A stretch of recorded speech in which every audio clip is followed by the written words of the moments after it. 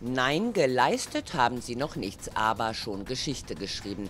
Als erste deutsche BMX-Fahrer haben Louis Brettauer und Mike Bayer es nach Olympia geschafft. Und dabei sein in London soll längst nicht alles sein.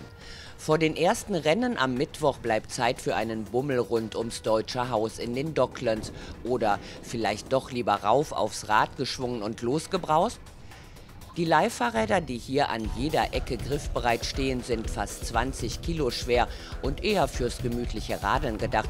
Aber das ist Mike Bayer und Louis Brettauer viel zu langweilig.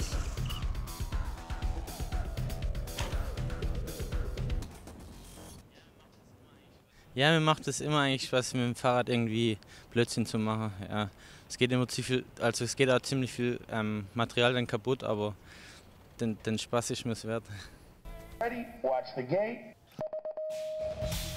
Und so sieht es aus, wenn die beiden auf ihren Sportgeräten in die Pedalen treten.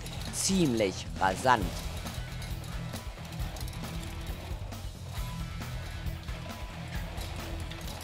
Unsere Fahrräder sind äh, sehr leicht, also wir haben knapp 9 Kilo wiegende Fahrräder. Sie haben eben die 20 Zoll Laufräder, das heißt, sie sind eigentlich von der optischen Erscheinung schon eher ein Kinderfahrrad. Aber die Fahrräder sind dann doch eher was für Mutige. Mit 60 Sachen geht's auf den BMX-Geschossen über die Strecke.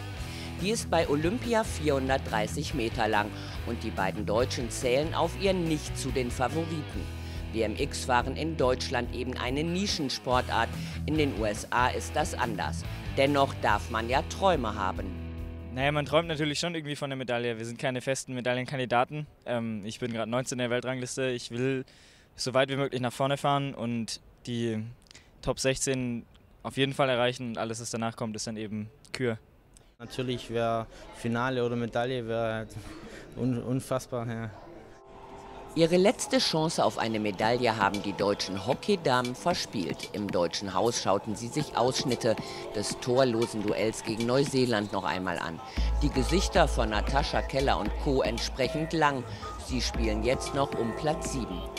Und auch die Stabhochspringerinnen konnten ihre Medaillenträume nicht erfüllen.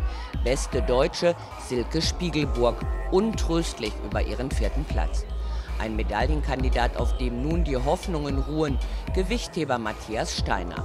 Und wer weiß, vielleicht gelingt ja auch Louis Brettauer oder Mike Bayer noch die Überraschung bei Olympia.